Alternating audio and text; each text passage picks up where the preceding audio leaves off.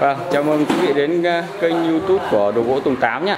Vâng, bây là 10 giờ ngày à, 29 tháng à, 9 năm 2019. Vâng, thì tôi đang à, trực tiếp bàn giao cho nhà bác um, Trúc Vân ở khu 1 à, xã Hợp Hải à, à, huyện à, Lâm Thao một bộ sản phẩm đó là chiếc sập thờ à, chân 22 có ờ, chân 20 xin lỗi. Có kích thước mất 97 và rộng ờ, chỉ 1m07 cao 1m17 chất liệu bằng gỗ hương đỏ Nam Phi và đây trên màn hình quý vị đây là toàn cảnh của ờ, phòng thờ của nhà bác à, Trúc Vân ở khu 11 xã Hợp Hải huyện Lâm Thao đây. À. và hành phi câu đối. Bộ hành phi câu đối nữa. phải mua cái đấy mua cái lọ hoa. Lọ hoa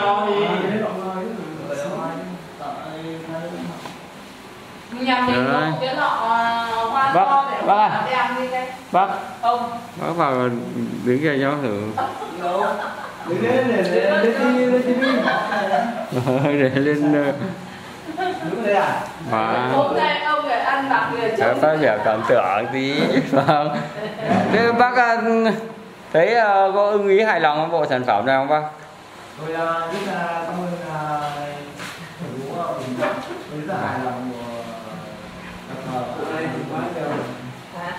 và Dạ. thế ờ, cháu thay mặt cơ sở đồ gỗ Tùng Thắng xin chân thành cảm ờ, ơn gia đình bác.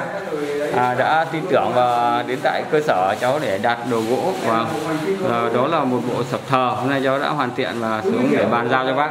Và thì ờ, cháu xin chân thành cảm ơn gia đình và chúc gia đình à, làm ăn à, may mắn nhé mạnh khỏe. Và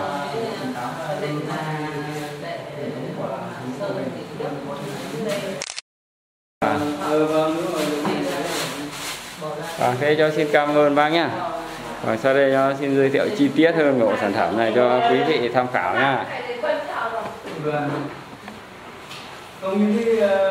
và vâng, thì ờ, chiếc sập này được đưa chạm mà mẫu mai điểm.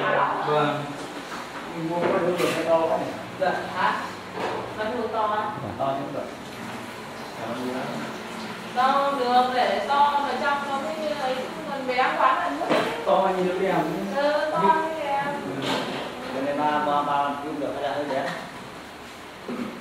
ba mâm cơm á Để hai mâm thôi bác. Đó. Nếu để ba mâm thì cũng được. Anh, còn nữa này. con có con con bé ba mâm sao hổ mua là con nhỏ nhỏ thôi không còn đâu ơi đẹp nhỉ đâu không quý quá đẹp đây còn là hai cái đèn lấy hai bên nữa. Lúc nào xong rồi nhìn nó hoàn thiện nó mới ấy Thế đẹp à? vâng. Còn đèn nữa cái lọ hoa to trắng. Đấy là cái cái cái ngai đó. Cái đấy còn sắm đúng rồi